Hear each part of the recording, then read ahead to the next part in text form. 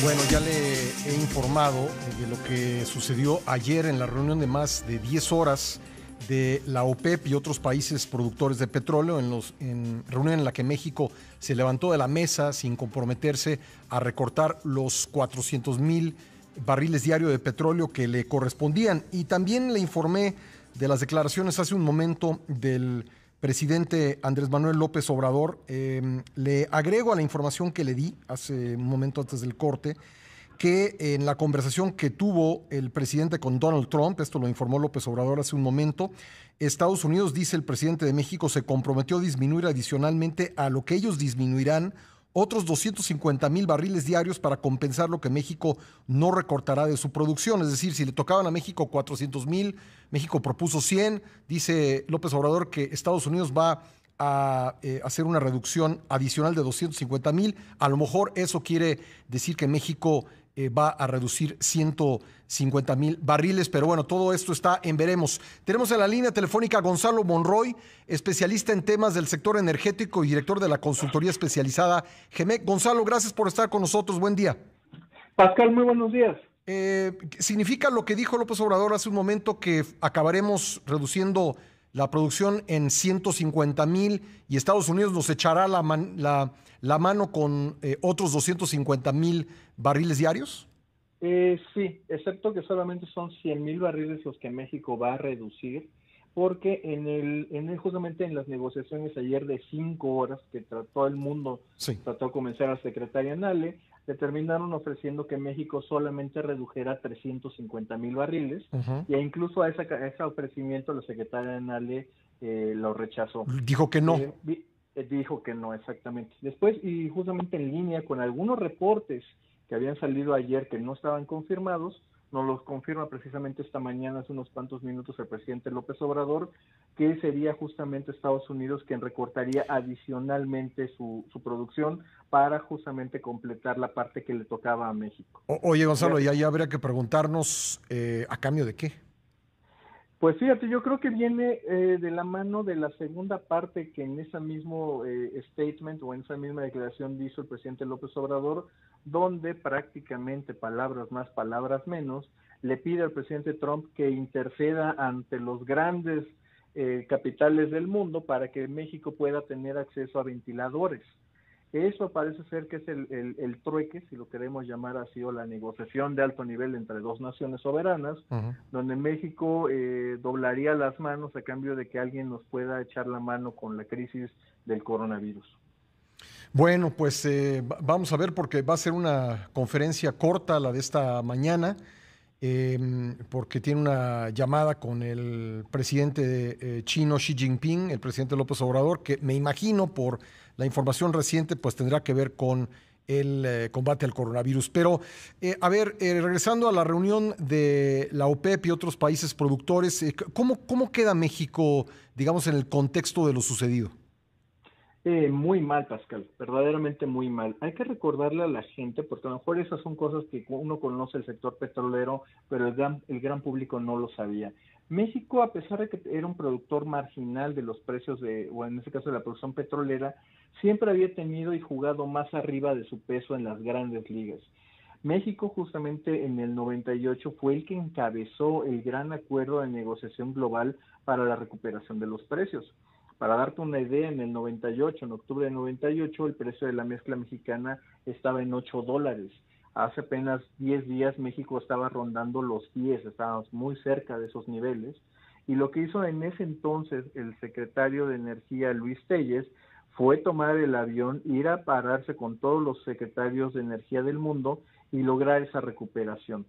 El papel de liderazgo de México fue puesto de nuevo en la mesa en el 2016, donde el subsecretario Aldo Flores Quiroga eh, justamente también encabezó muchas de estas reuniones, logró concretar acuerdos para poder levantar los precios después de que se habían pasado de 110 dólares en 2014 a poco más de 38 en 2016. Esta posición de gran liderazgo ayer se, se tiró por la borda cuando en una decisión infantil la Secretaría de Energía se paró de la mesa y abandonó la reunión sin mayor explicación alguna. E, e, es decir, más allá de que finalmente quede así, que México reduce 350, pero en realidad solo reduce 100 porque Estados Unidos le va a echar la mano con los otros 250, eh, al margen de este arreglo eh, que adelantó el presidente López Obrador, eh, y otras fuentes que tú nos comentas, de todos modos va a haber un costo para el país en términos de su imagen. ¿Es tu opinión? Es correcto, y sobre todo hay un elemento fundamental que, que no es del todo conocido y en términos de cómo se negocia con la gente del Medio Oriente, no solamente con la gente de Arabia Saudita, sino con la gente de Irán, con la gente de Qatar, de Omán, de los Emiratos Árabes. Y tiene mucho que ver con la forma. Si tú ofendes a uno de esos árabes, prácticamente no vuelves a hacer negocios con ellos de por vida. Eso es tan importante las relaciones personales ahí. El, la desfachatez de haber separado es un gran agravio. Y también déjame introducir un elemento que creo que es muy importante y son de esas cosas sutiles. Estamos hablando de los países más machistas del mundo, donde que aparte de todo este agravio lo haya hecho una mujer, en este caso la secretaria Nale, o los ofende todavía más. Esto también está detrás de cuando el ministro de Irán hablaba de una forma bastante vocal de que México fuera expulsado de la reunión y que prosiguiéramos sin, sin nosotros es también este tipo de cosas que, bueno, nos, nos daña en términos de, de imagen y reputacionales y de negocios. Una mujer que además no lleva velo, ¿no? Además. Eh, digo, porque sí, pues es, eh, digo, es bien sabida la condición de la mujer en, en aquellos eh, países. y bueno, pues, pues veremos qué consecuencias tiene esto. oye, Gonzalo, voy a tener que hacer una breve pausa. ¿Te molesta quedarte con nosotros dos minutitos y terminamos la conversación? Por supuesto que sí, te espero. Gracias, gracias a Gonzalo Monroy. Vamos a regresar en un momento con él para pues eh, seguir hablando de las eh, consecuencias de lo sucedido ayer en la reunión virtual de países productores de petróleo. Escríbame, arroba Beltrán del Río en Twitter, diagonal Beltrán del Río en Facebook. Vuelvo enseguida. Eh, estamos hablando sobre la reunión virtual ayer de países productores de petróleo. Vamos a escuchar lo que dijo el presidente Andrés Manuel López Obrador hace un momento en la conferencia mañanera. Nos pedían eh, pues una disminución como la de Arabia Saudita, como la de Rusia, del orden del 23% de la producción. Entonces nos pedían eh, 400 mil barriles y luego 350 mil barriles menos. Y Hablamos, se comunicó con nosotros el presidente Trump, hablé con él y se llegó a un acuerdo de hacer una disminución de 100 mil barriles. Estados Unidos se compromete a eh, reducir adicionalmente a lo que él iba a entregar 250 mil, dice el presidente Trump, que por eh, México, para este, compensar. Bueno, pues ahí está lo que eh, platicábamos contigo hace un momento, nada más que no habíamos escuchado el audio. Gonzalo, pues nos decías, eh, para resumir un poco el bloque anterior, que eh, pues eh, este es el acuerdo al que se llegó, pero en términos de imagen, de capacidad de negociación de México, pues le va a costar al país. Es bastante correcto, Pascal, y todavía por desgracia, y, y creo que aquí el punto fundamental, resumiendo toda esa parte, es que mientras el mundo se unió en la parte de los recortes, cooperó para poder levantar los precios del petróleo, México no estuvo dispuesto a jugar con el mundo. México se aisló, se dijo voy, yo voy yo solo y, esto obviamente pues no es una forma confiable. Además hay un elemento fundamental, todavía esto no se ha acabado, falta que lo PEP eh, acepte la propuesta de México y, e implícitamente la propuesta de Estados Unidos, porque hay un elemento fundamental de lo que se anunció ayer, el gran ausente y a la vez el, gran titiritero es precisamente Estados Unidos. Estados Unidos está comprometiendo a reducir poco más de un millón de barriles, pero no tiene un mecanismo puesto, porque sería ilegal bajo las leyes americanas, para poder hacer un recorte coordinado. Eso es de las cosas donde también le mete incertidumbre y esto todavía no... O sea, ¿eso podría llegar al Congreso de Estados Unidos?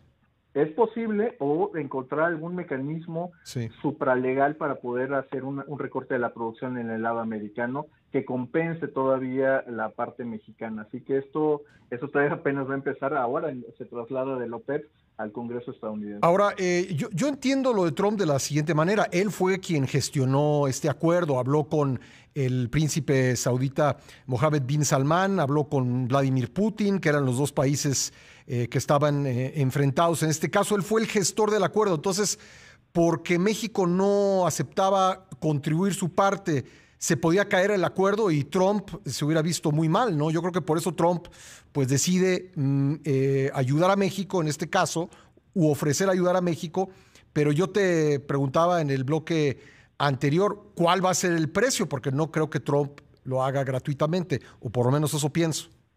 No, para nada. Fíjate, aquí, y aquí vale la pena explorar un poquito las motivaciones del presidente Trump. Y, por ejemplo, los precios bajos del petróleo significan que el precio de la gasolina está increíblemente bajo, por debajo de un dólar el galón de, gasolina.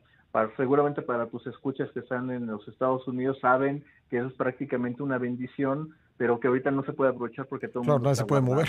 Sí. Exactamente. Pero eh, por el otro lado, estos precios tan bajos del petróleo están poniendo en jaque y literalmente en coma a economías de estados clave en un año de elección, como Dakota del Norte, como Oklahoma y especialmente Texas.